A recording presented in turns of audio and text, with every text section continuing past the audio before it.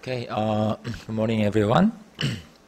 so today, uh, let me begin by reviewing what you did, what we did.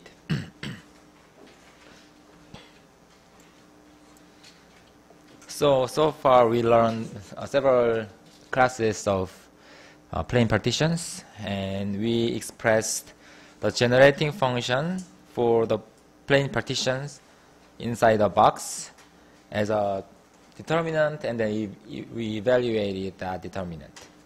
And we also expressed the generating function for symmetric plane partitions as a determinant, and in the homework, as a some problems in the homework, you evaluated this determinant. And recently, we expressed the generating function for the cyclically symmetric plane partitions, and as a determinant, we didn't evaluate the determinant. Uh, it's quite complicated, but it's possible. And we're not going to do that in class. Uh, but if you are interested, you can read the textbook. It is in explained in uh, chapter 6. so these are all uh, expressible in terms of a single determinant. And today, uh, we are going to focus on another class of plane partitions.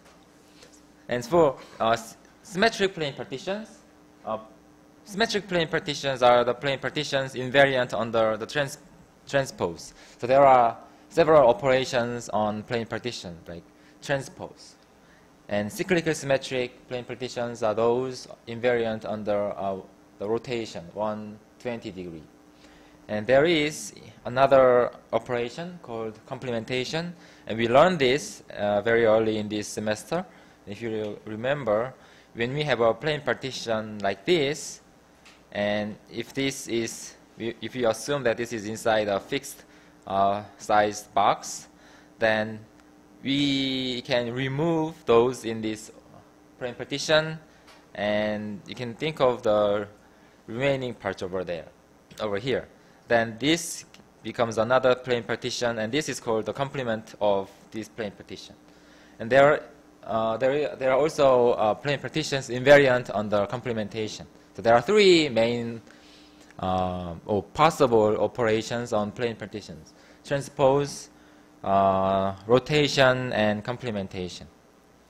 So SPP, cyclically uh, symmetric plane partitions, invariant, on, invariant under transpose, uh, cyclically symmetric, invariant under rotation, and there are things uh, invariant under complementation.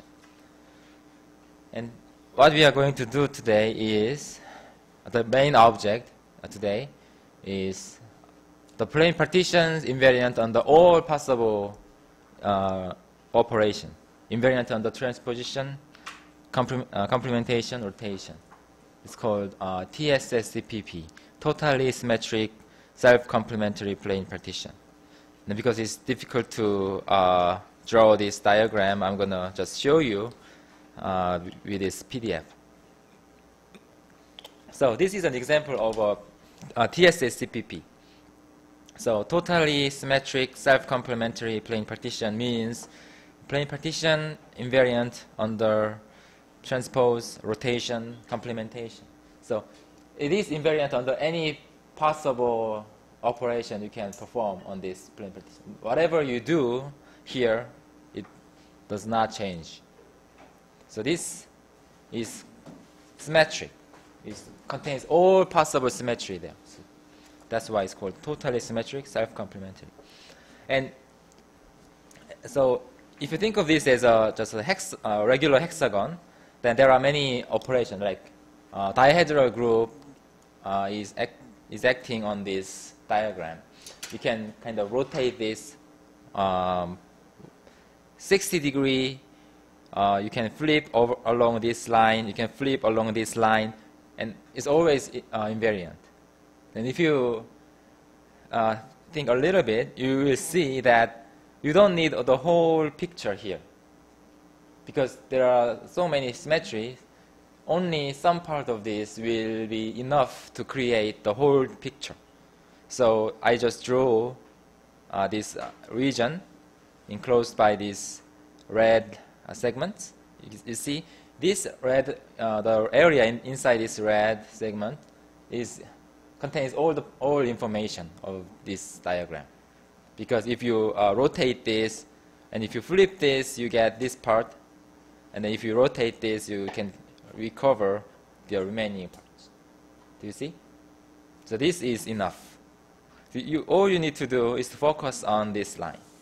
Oh, by the way, uh, this uh, plane partition can be thought of as a tiling of this uh, hexagon using uh,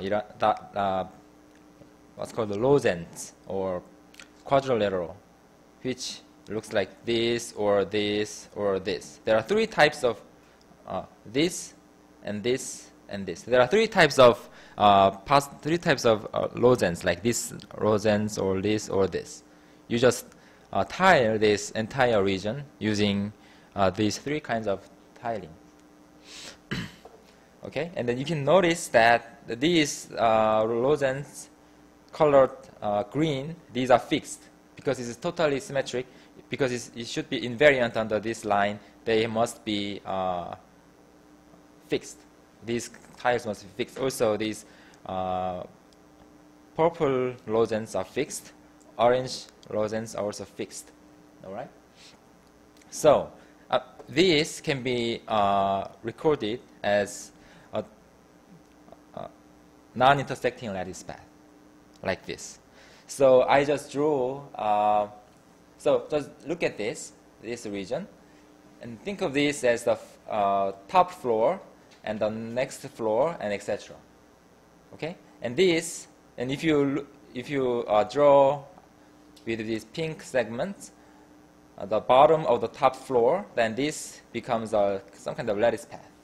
And also here, it begins at this point and ends at some point uh, on this line. And also here and here. And this is just a single point. And if you uh, change the lines so that this is going to be at the x-axis and this line becomes y-axis, then if you draw that, this pink uh, lattice path uh, using this xy coordinate, and this becomes uh, this line, uh, this intersect non-intersecting lattice path. All right. So, for instance, here, uh, east, north, east, north. So east, north, east, north here east, north, north, east, north, north, etc. So this is a bijection. So the point here, uh, if we if I name this uh, 0, comma 0, and then th this one you go to the west by two unit, and then you go to the north by one unit, one at a time, like that. This line is of line y equals 1 minus x. So the uh, yeah. Any question about this correspondence?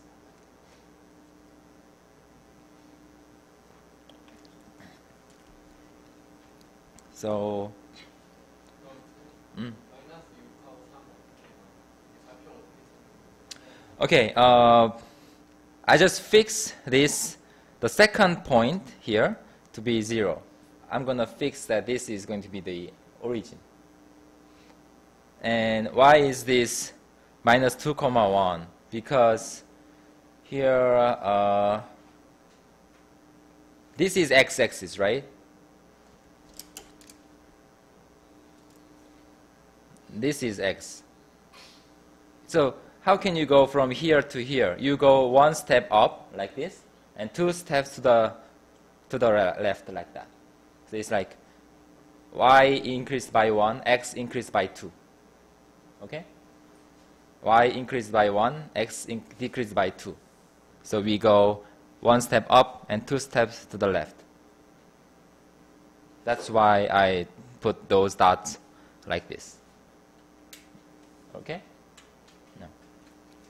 So these, you notice that the starting points are fixed, like 0, comma 0, this one's 2, comma minus 1, and uh, 2, comma 1, uh, minus 2, comma 1, right, etc. So the starting points are fixed, but the problem here is that the ending point can be any point on this line, y equals 1 minus x. If the starting points are fixed, the ending points are fixed, then this is exactly the problem that we know. Uh, Gessel-Viennot, you can apply Gessel-Viennot um, lemma, and then you can interpret this as a single determinant right away. If those ending points are also fixed. So here is the what. Let's look at this. The TSCPP is in one-to-one correspondence with non-intersecting lattice path whose starting points are fixed, but ending points are not fixed. They can be uh, any point on this line. So we cannot really express this as a single determinant right now. We need to do something else. But the thing is, it is possible. We need to do extra work. That's what we are going to do today. That's our goal. Our goal is to express this as a determinant, like we did for plane partitions, cyclically symmetric plane partition, uh, symmetric plane partition. Is the goal clear? Any question before I proceed?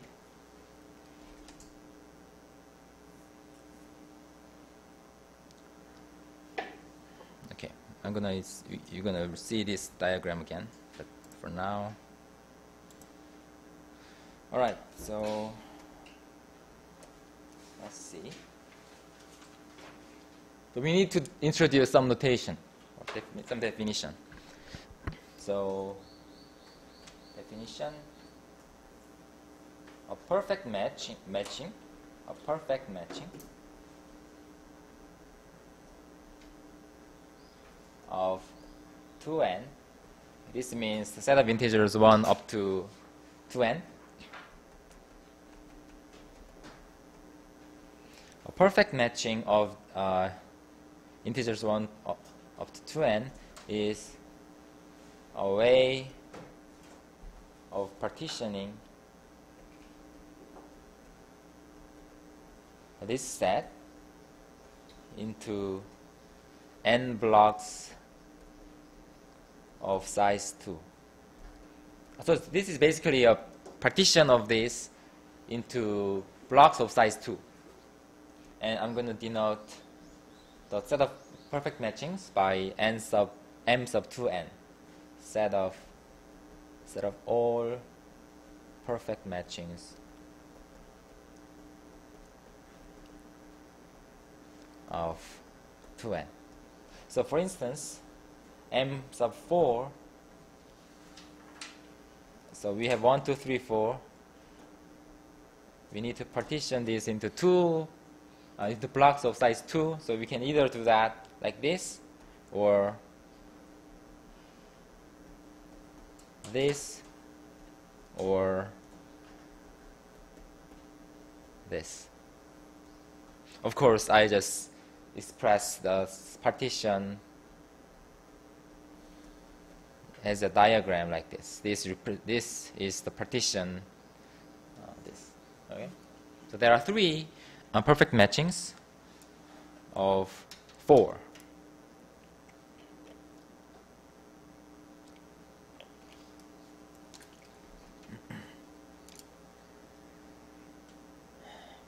And for if you have this kind of diagram, arc diagram, it is very natural to define uh, the following definition.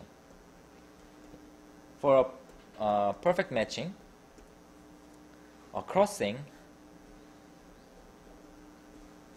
of pi is a crossing like this. Two arcs cross each other. Is a pair of two blocks I'm going to simply write blocks like this, I, ij, kl.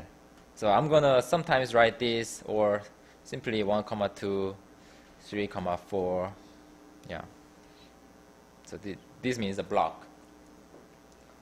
Such that, of course, we when I write uh, as, a, as an ordered pair like this, I'm going to always assume that the first one is smaller than the second one such that i less than k less than j less than l. So in other words, as a arc diagram, so these are arranged that way. So I, K, J, L, and I, J are connected because it's a block. K, L are connected. So crossing means something like that. This uh, came from two arcs.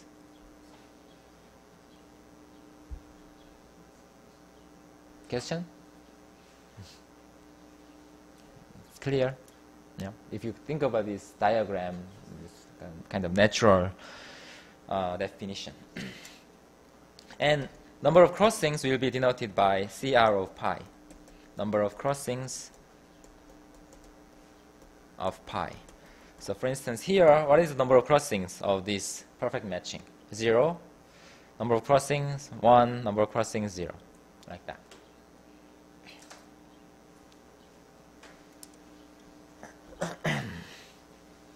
Uh, it is actually a very well-known object and uh, fact.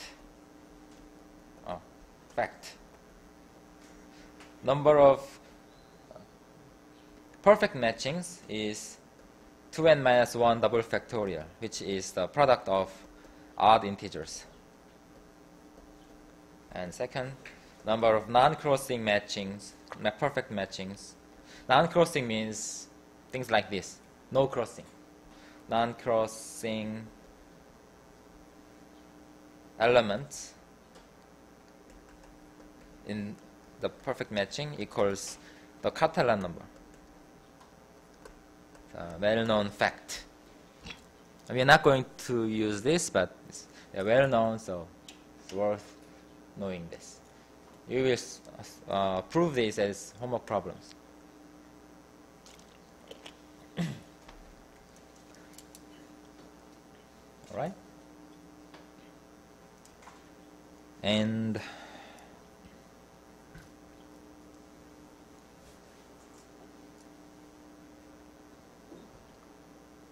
So,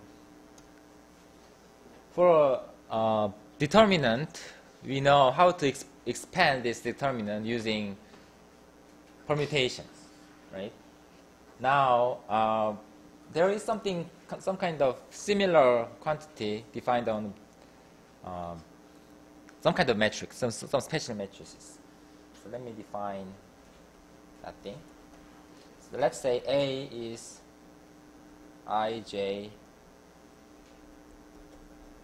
so this is uh, 2n by 2n matrix. 2n by 2n. And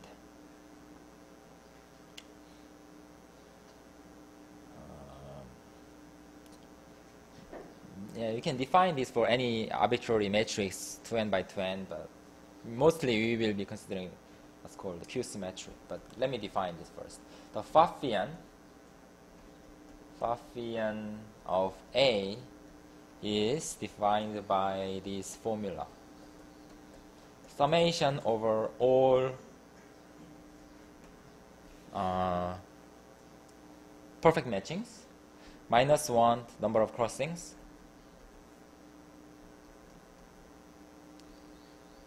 for all uh, block inside this perfect matching there are n of course we multiply aij. Okay? This is the definition of, Pfaffian. Okay?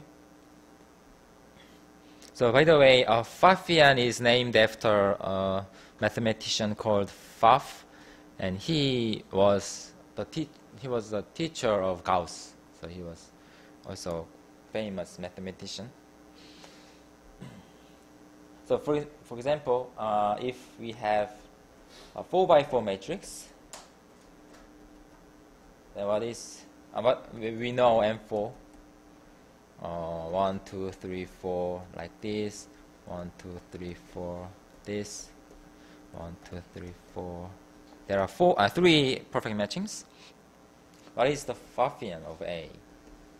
So for this, what is the number of crossings? Zero. So we have plus sign. And for each arc, we multiply A uh, 1, 2, ij. So aij, oh no, a1, 2, a3, 4. For, for this part, for this arc, uh, this perfect matching. For this perfect matching, the number of crossings is minus is, is 1, so the sign is minus. And 1, 3, and 2, 4. Okay? And for this, this plus. It's 1, 4, 2, 3. Okay? So Pfaffian is defined like that.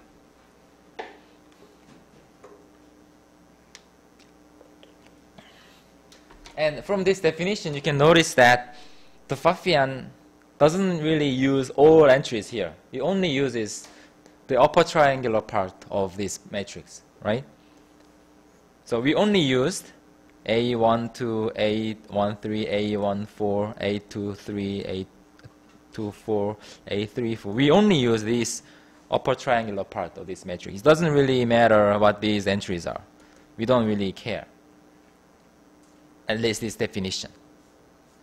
So these, these are enough to compute this.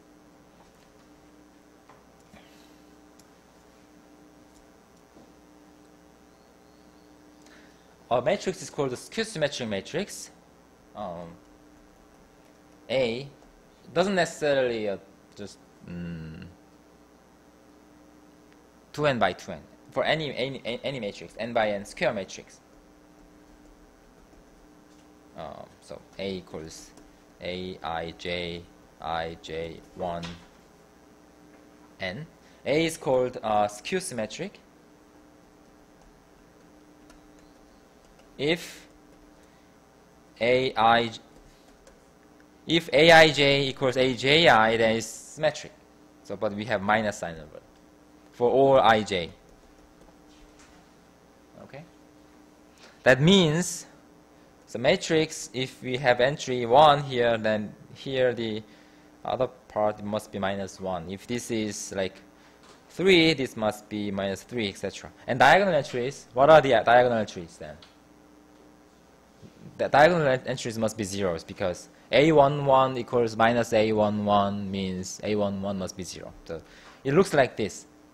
Diagonal entries are all 0 and this part are the negative of this part.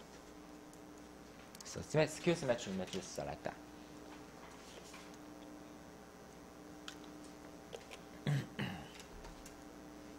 and there is a very interesting uh, theorem about the skew, determinant of the skew, symmetric matrix of a 2n by 2n matrix. If you compute the determinant of a skew symmetric 2, 2n by 2n skew symmetric matrix, whose entries are integers, you will notice that they are all a square of some integer. That's quite interesting thing. There is a very nice theorem due to Cayley theorem. A 2n by 2n skew symmetric matrix then the determinant of A is equal to the Pfaffian of A squared.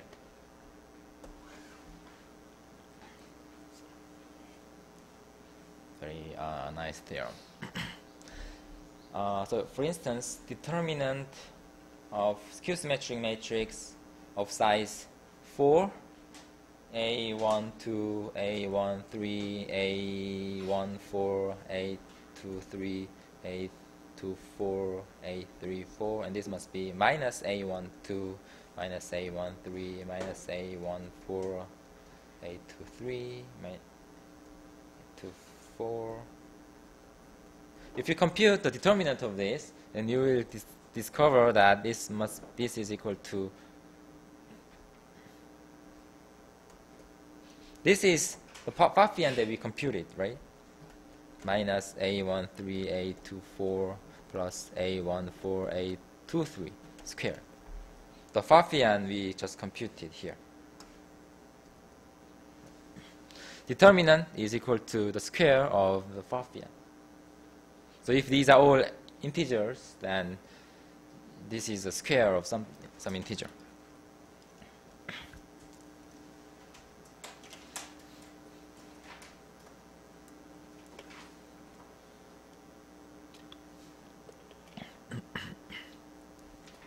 Proof is a homework problem.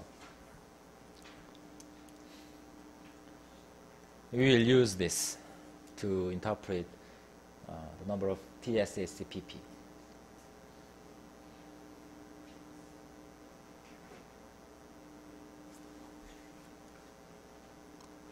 Okay.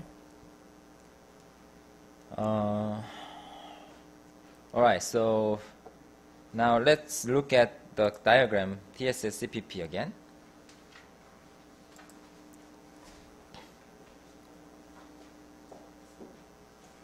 Oh, by the way, uh, we want to use that fact. Skew symmetric matrix determinant equals Pfaffian squared. Um, but for Pfaffian, we, that, that theorem, Cayley's theorem, is only true when uh, the size is even, 2n by 2n. So we want to have somehow even number of lattice paths. But if the size here is, actually this is always 2n by 2n, a 2n by 2n by 2n box. If this is a totally symmetric, self-complementary, the size must be an even size, 2n, 2n, 2n. Otherwise, there is no TSS-CPP. So suppose that there are 2n, uh, the size is 2n, 2n, 2n then how many lattice paths are there? So in this case, n equals 5, 1, 2, 3, 4, 5. So that's the same as the number of floors in this region. That's, that means we have, including this dot, we have n path, right? So 5, 1, 2, 3, 4, 5. If n is even, then we have even number of paths. But if n is odd, we have odd number of paths, right? We want to have e even number of paths. So we have slight problem here, but we can kind of avoid this problem by uh, ignoring this first path, which is just a single dot, if necessary. If n is even, we will just have this path, including this dot. But if n is odd, we will simply ignore this dot, so that we have 1, 2, 3, 4, even number of paths. Okay? Because we just want to have even number of paths. All right? So,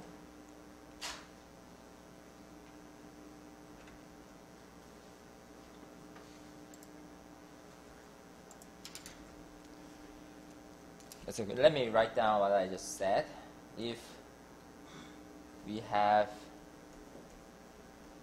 TSSCPP inside 2n by 2n by 2n box. The corresponding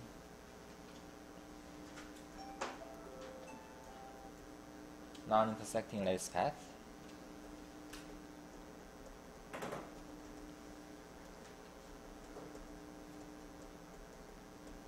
have n path.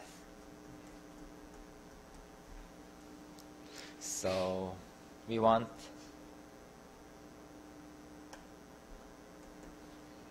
uh, even number of paths.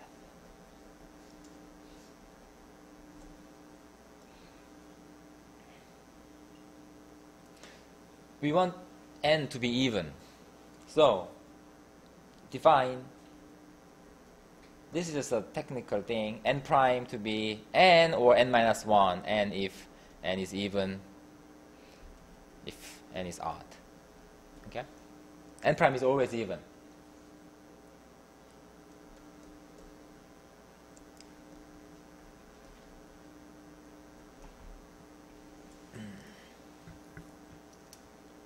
if n is odd, we uh, delete or uh, ignore the first path. That is a dot. Dot, just single dot with as we saw. Okay. So what are the starting points now? Oh yeah, let me Okay, I'm going to draw this diagram again. So it's, I'm just drawing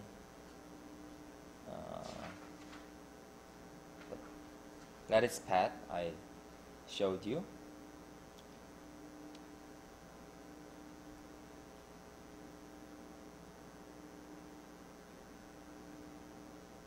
So um, we have this.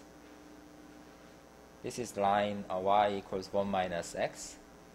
The points here are, this is 0, comma 0, uh, minus, uh, no, minus 2, comma minus 1, uh, minus 2, comma 1, minus 4, comma 2, minus 6, comma 3. Okay? So for instance, like this, n equals even, n is an even uh, odd integer, we will ignore this. But if n is even, we will include that as well. So the starting point, um, so then, then we have, uh, okay. So now we have how many paths? n prime path. So n prime path means a n prime tuple of path like this.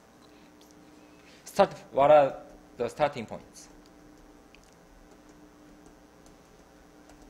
So they are, they are all they all look like uh, 2 minus 2 minus i, uh, i minus 1. Uh, okay. I think I need more space. Okay, let me write this over here. Starting points are 2 minus 2i, i minus 1, where i is from 1 to n minus 1. So when i equals 1, it's 0, comma 0, and it goes like this. If n is odd. But when n is even, we also include this point. So 2 minus the same thing, but i uh, is from 0 to n minus 1, if n even. Okay? But the ending points are on this line and ending point uh, on the line y equals 1 minus x. Okay?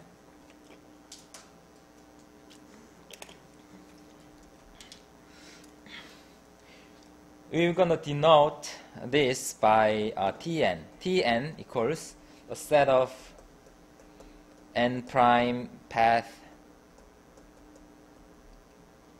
whose uh, starting and points are as described like this. Okay. Here we include all such paths, not necessarily uh, non-intersecting ones. Okay. Anything like only starting points and ending points are fixed. So it can be anything like these they can intersect like that, anything like that. But among them, we will we want to only count non-intersecting ones uh, at the end.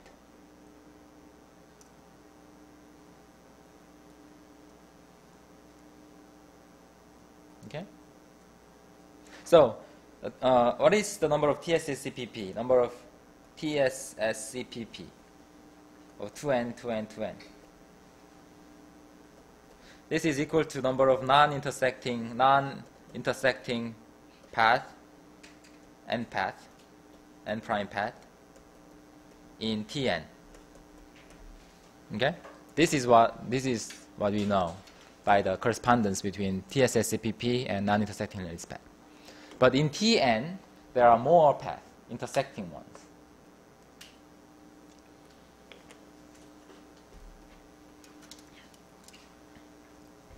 All right? And as I said, if the ending points are also fixed, then we can write this as a determinant immediately. But we can't because the ending points are varying. So we need to do something else. This is the setting, by the way.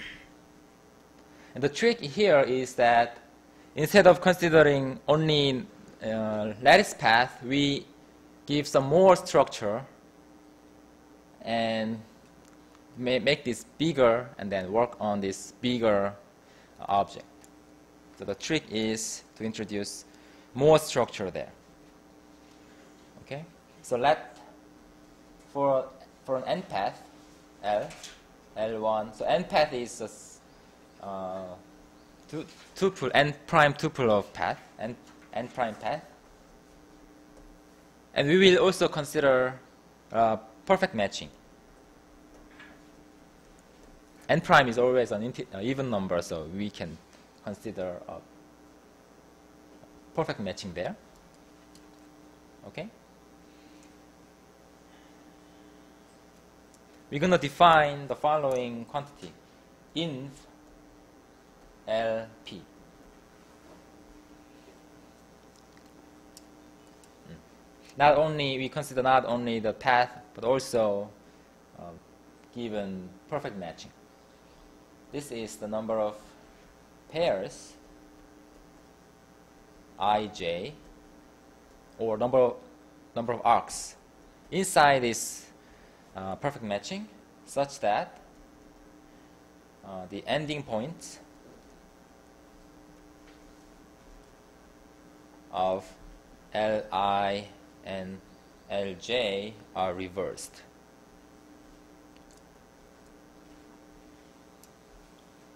Yeah, I'm going to show you an example in a moment. But let me define. So for instance, as a diagram, if i is here, i, so this is the ith uh, point from, from this. So we go like this. And j is somewhere here. When I, whenever I write i comma j inside the perfect matching, we, it is assumed that i is less than j. So it's j. jth point. And uh, ij is an inversion, or yeah, in, inversion for this pair. If this is uh, li, right? They kind of go backward. The, the ending points are in, in, in like reversed. If this happens, and this i and j is in a, if i and j are in the same same block, then we say that ij is an inversion. And inv L comma pi is the number of inversion, such inversions. Okay?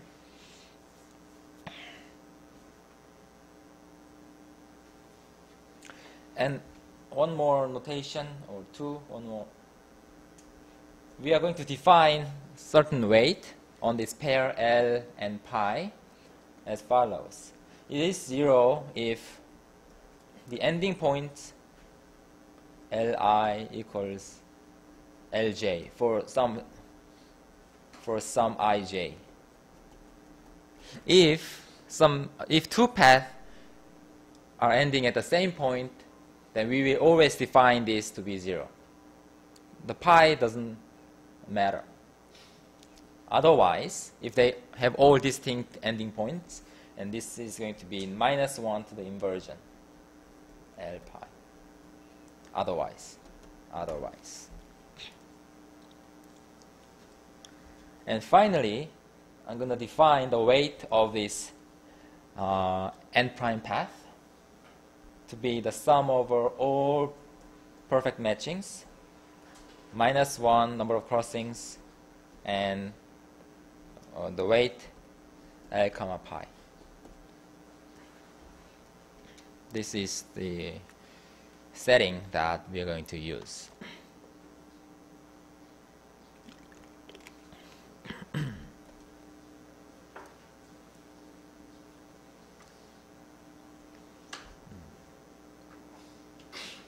By the way, uh, it's going to be a little, uh, this argument is going to be quite long, so you have to be prepared.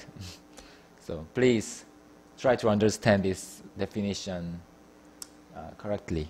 I'm going to show you an example right, right now, by the way.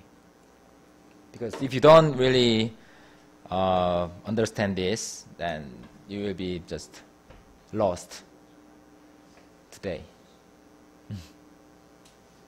Okay, so let's see an example. n equals 4,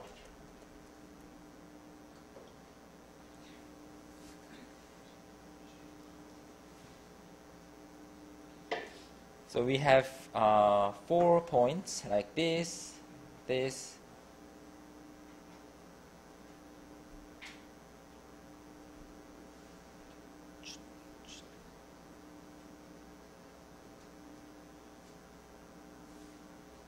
this simple.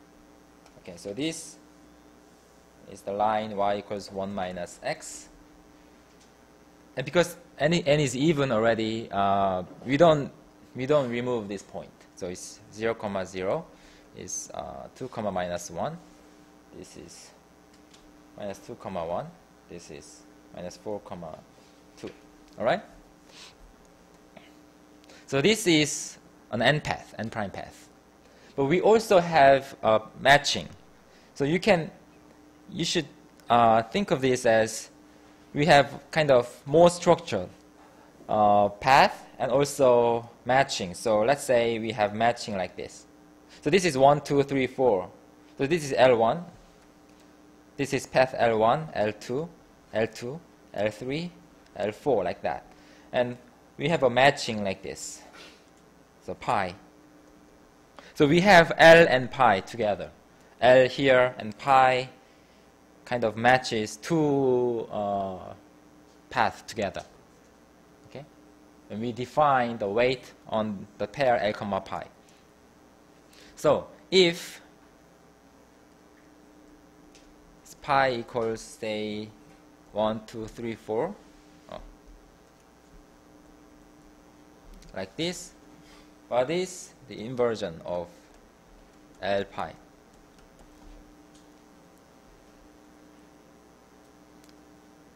According to this definition, what is the inversion? Hmm? One? Do you see? It's one? Yes, it's one. Because you just compare L1 and L2, right? L1 and L2. Their uh, ending points are in the natural order, right? So doesn't count as an inversion. What about 3, 4? 3, 4, their ending points are kind of reversed. So this is counted as an inversion right? So this one. Uh, let's say if let's say pi prime is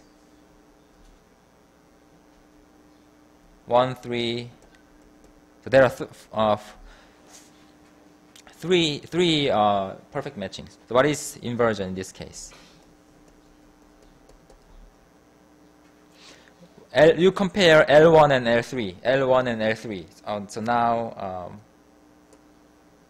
we have like this, pi prime. L1, L3, their ending points are not reversed. Uh, and L2, L4, their ending points are not reversed, so it's going to be 0. Okay? And finally, if pi double prime equals 1, 2, 3, 4, like this, the inversion of L pi prime, double prime. So now um, we have like L1, L4, L2, L3. So we compare L1 and L4. Their ending points are the original order. L2, L3 not reversed, so 0 again. So you can compute the inversions like that.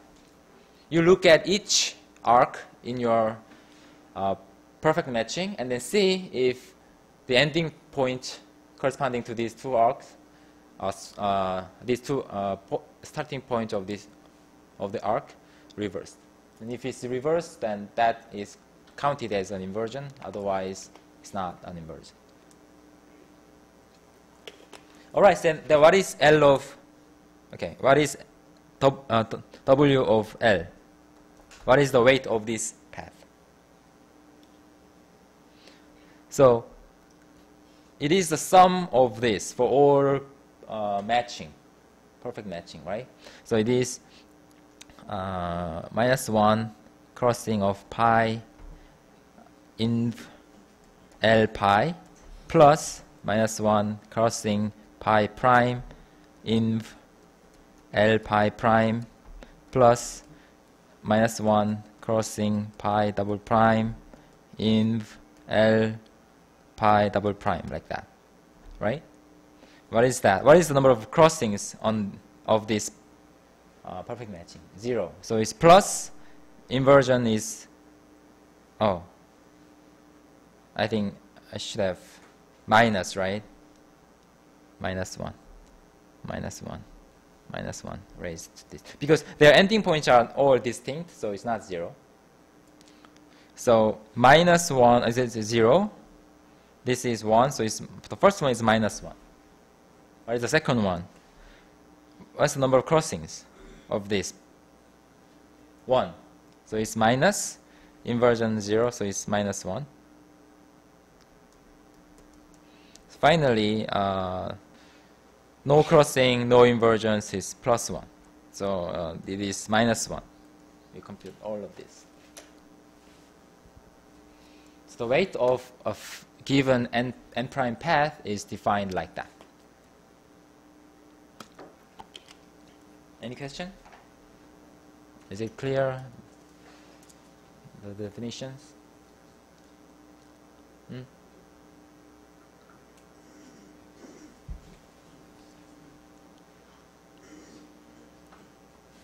Yeah. Ask, please ask me questions if something is not clear.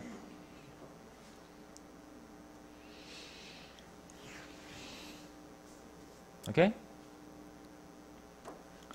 Alright, so our goal is to show that the weight sum of this lattice path is equal to the number of non-intersecting lattice path. That's our uh, main lemma. It's a lemma number of non-intersecting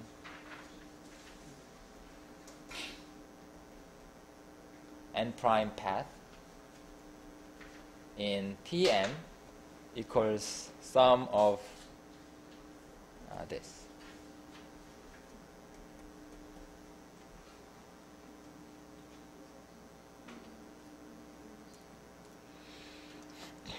This is our lemma.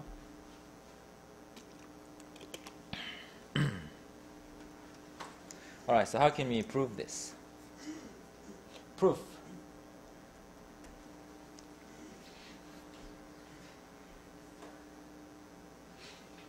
So we, we will prove the following things.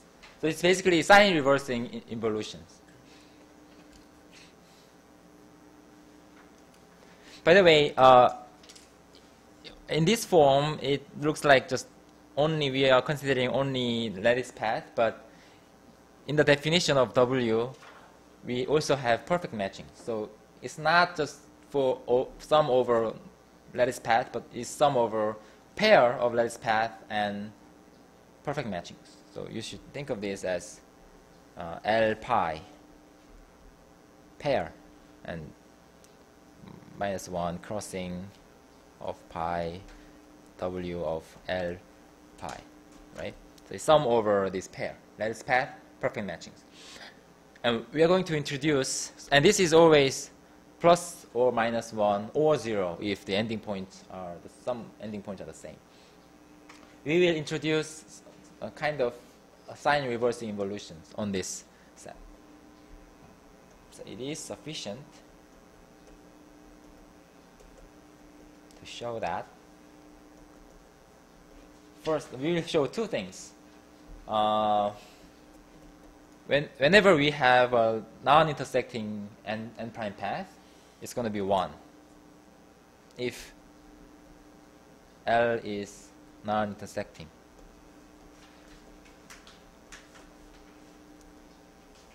And second, sum over all L intersecting L equals 0. We will sum over all intersecting n prime path inside Tn. Oh, by the way, uh, yesterday I uploaded the lecture notes. If you print out, printed out the lecture notes, then there was a typo. I, I just ignore. I, I just didn't write write this in the previous lecture note, but I corrected it today. So, if you printed that out yesterday, then you have some typo there. it is enough to show these two things because then the contribution of non-intersecting L, for each non-intersecting we have 1, we add 1, and for non-intersecting path, they all cancel each other and 0. So this is equal to the number of non-intersecting paths. Okay? So it, it is enough to show these two things. That's what we are going to do. All right. Uh, first, first one is easier. Uh, by definition,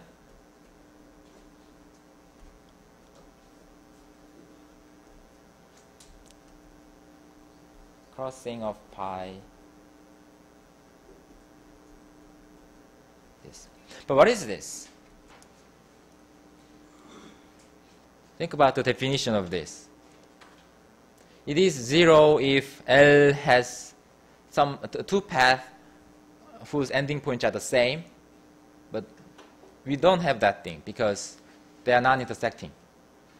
And it is minus 1 to the number of inversions. But what is the number of inversions for this? They are non-intersecting. That means they are some kind of parallel like this. They, their ending points will never be reversed. So it's, all, it's going to be always 1. Right? It's always 1. That means, you know, you can just write this. Right? But this, if you recall the definition of the Pfaffian, you know, just we are multiplying 1 always, right? This means this is equal to the Pfaffian of uh, the skew symmetric matrix consisting of ones only in the upper triangular matrix, upper triangular part, and minus 1. This is just a definition, right? Because we, definition of Pfaffian, you sum over all uh, matchings, and then you multiply aij. But aij is always 1, that means we only have this sign. This is it. And this turns out to be 1 always. And this is homework. Not, not very difficult, so we can do this. So we are done by the homework problem. Any question? So the first part is okay. Second part is the difficult thing.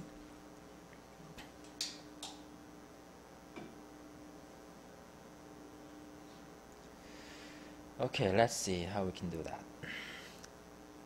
Second part. I'm going to move on to the next page and begin there. So second, we need to show this. So let me rewrite this. L equals 0 uh, sum over all intersecting L in T. Proof. Uh, okay, so let's let let's consider one path, one such path. We have n prime uh, path, the an intersecting n prime path uh, in Tn.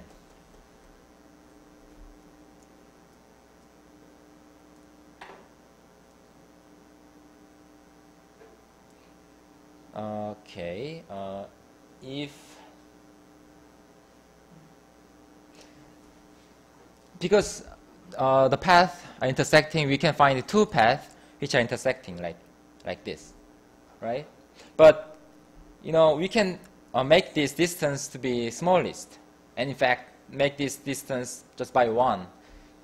If there is another uh, path starting between these, this will intersect with either this or this. So we can assume that the we can always take uh, intersecting path Li and Li plus 1. We can always find, we can find Li, Li plus 1 intersecting. And R, we, we are, because there can be many such i, and we will take the smallest i. i is the smallest. We will just give a way to fix uh, two intersecting paths. All right. Okay, uh, they may intersect at the end, in the ending point. If what happens if end of Li equals end of Li plus 1, then it is already 0. So we can kind of ignore this. So assume that end, different end. Actually, at the beginning, we can just consider all paths that never intersect at the end because they contribute zero. They, we don't, we can kind of ignore them. Okay, now uh, we consider, we, we now have one uh, intersecting n prime path. We will consider, a, because it's a sum, it, W is over L is also a sum over all, prime, uh, all perfect matchings. We will consider perfect matching together. And for uh, consider a fix or uh, one perfect matching. Okay. So we have this basically. We will kind of construct another pair of an n path, n prime path, and perfect matching in the following way, so that they have uh, the opposite sign.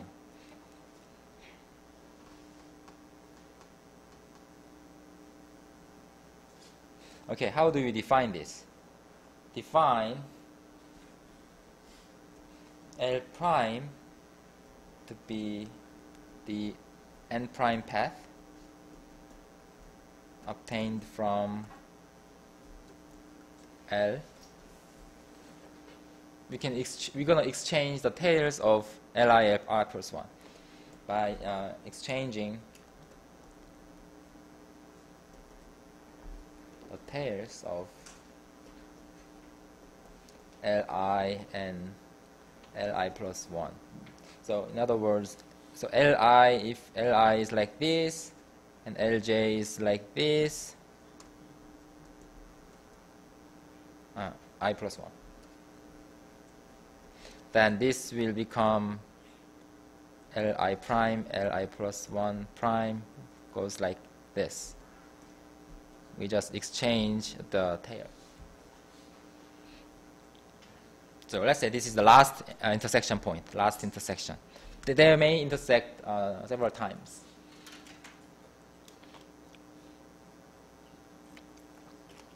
Not only this, we will change pi together. And pi prime is defined quite the same. To be the same, uh, to be the uh, perfect matching, perfect matching obtained from pi by exchanging i and i plus 1. So if i and i plus 1 are in the same block, then pi equals pi prime in that case. Otherwise, it will be change it slightly. Then the claim is that they have the opposite sign. In other words, minus 1 crossing of pi plus inversion L pi equals minus minus 1 crossing of pi prime plus inv L prime pi prime. By the way, this is an this is an involution, right? If you have if you apply the same thing on this pair, you will get this back because you will find L prime uh, Li prime and Li plus 1 prime again, and then you change the swap the tails, you get back this. Also, pi prime becomes pi. This is an involution. So if we show that they have the opposite sign, then this is done. If we can prove this claim, then the second uh, item is proved.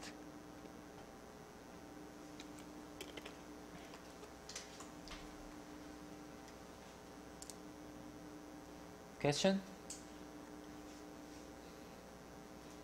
But before I show you the proof, I'm going to give you uh, an example. How we define L prime pi prime. from this example, you can see I can kind of guess the proof. Okay.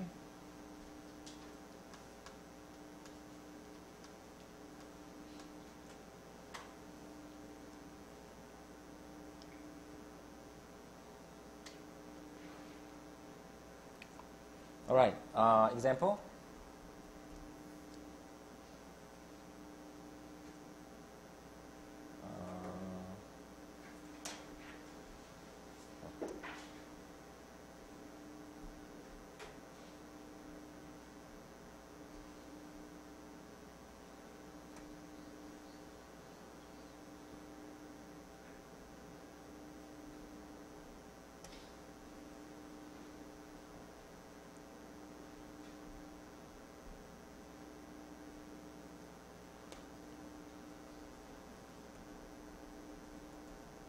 So this is uh, L1, L2, L3, L4.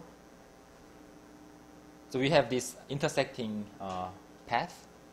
And let's say that pi is this. L1, uh, pi is this. Connecting 1 and 2 and 3 and 4. What is the corresponding pair L and L prime and pi prime? Okay, you find what is i in this case? Li, Li plus 1 intersecting, i is 3, right? L3, L4 are intersecting. So there, uh, the, the other path are the same. So it's here and like this. But for L, uh, L3, it goes like this. We change the tails like L4 like this. L, so L1 prime, L2 prime, they're the same. L3 prime, L4 prime. What is pi prime?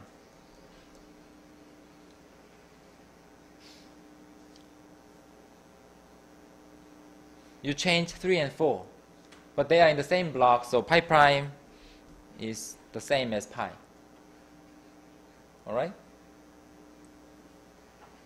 So what, let's see if we really have that. So what is the crossing of pi and compare these two? They are equal because pi equals pi prime. What about inversion? Uh, L pi. What is inversion L pi? For this, you, you look at this L1, L2. They are in the natural order, okay? They are reversed, so it's, it's 1. Inversion is 1. What is the inversion of L prime pi prime? Hmm? So you look at the same same pi prime. I said pi prime is the same as pi. They are in the same order. Here, they, because we swapped the tails, they are in the same order, right? So it's now zero. So minus one crossing pi. We really have this, right? It's minus pi prime, L prime, pi prime.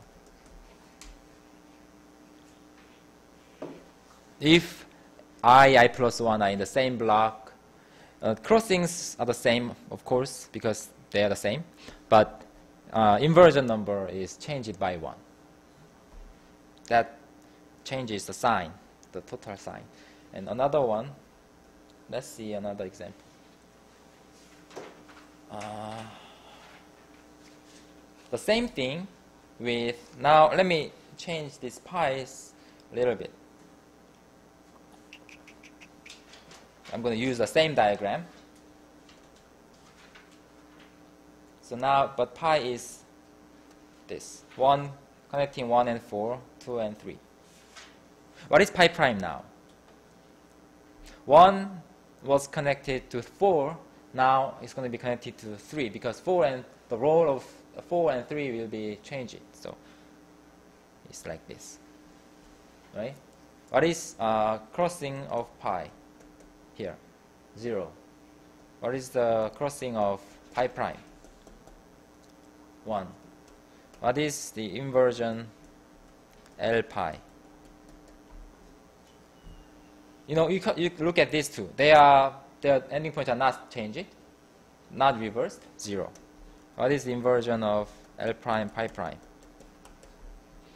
Still, they don't change, so 0. They are the same, but this differ by 1, so we also have this. The same thing holds. Okay? So in any situation, we will always have this kind of thing.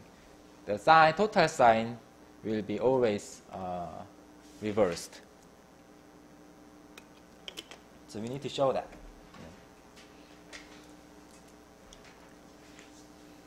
Let's do that. So let me rewrite the claim again. If you do define pi prime and L prime that way, then crossing plus inv minus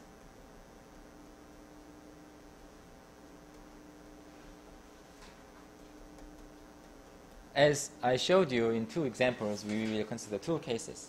Proof. Case 1. Uh, i, i plus 1 are in the same, uh, same block. Then what? Pi prime is the same as pi.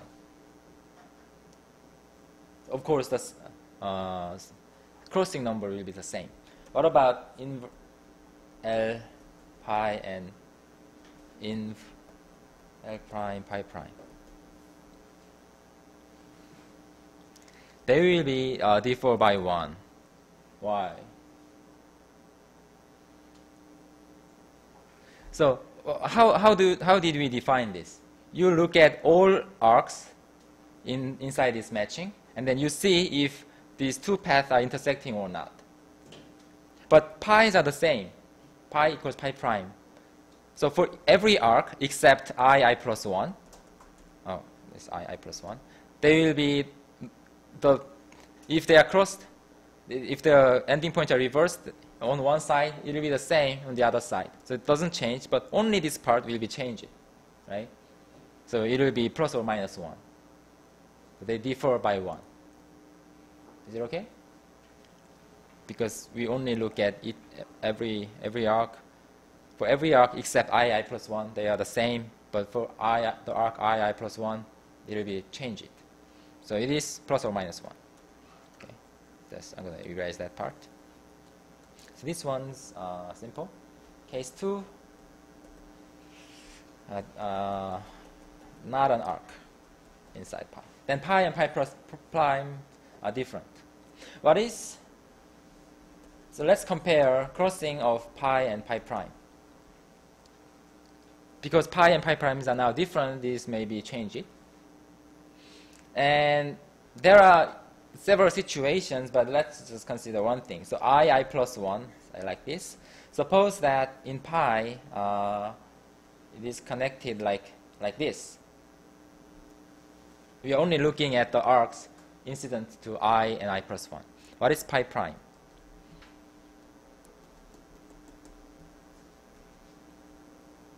Whatever was connected to i plus 1 is now connected to i. So when you have a, a crossing, then it will be the crossing will be resolved. So no crossing. If there is a crossing, it will be gone. If there is no, then we will create one crossing. So it is always plus or minus 1. In other situations, you can see it's the same because we kind of change two things. It's always plus or minus 1. So the uh, crossing changes. Okay?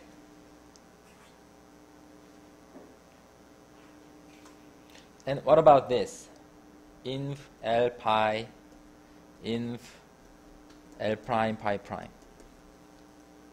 We want this to be the same, and it is true. And why? Let's see why. Uh, let me draw some diagram.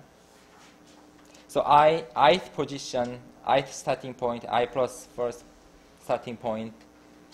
Uh, suppose that we have something like this. Like that.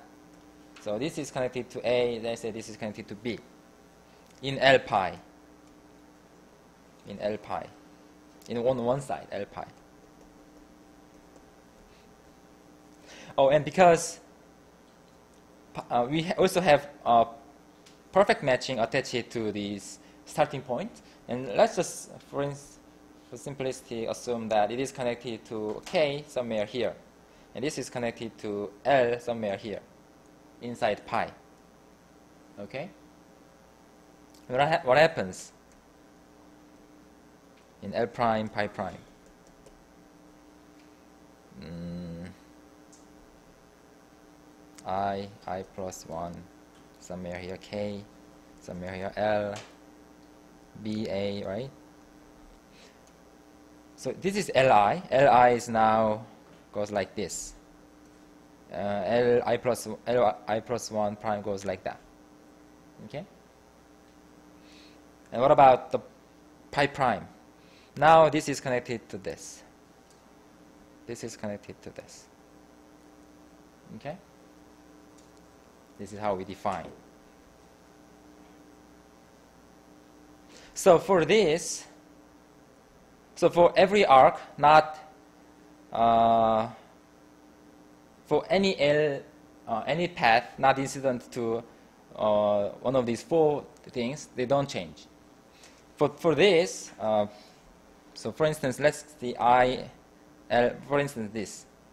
If we had something like this, say B, and this is say C, but this is changed, but what, what happens is these ending points are the same, L doesn't change, but what happens is only I changes to I plus 1. Okay? But here, we are, we are comparing Lth uh, path and I plus first path. So whether they are crossed or not, it will remain the same. I mean, whether their ending points are reversed or not, it will be the same.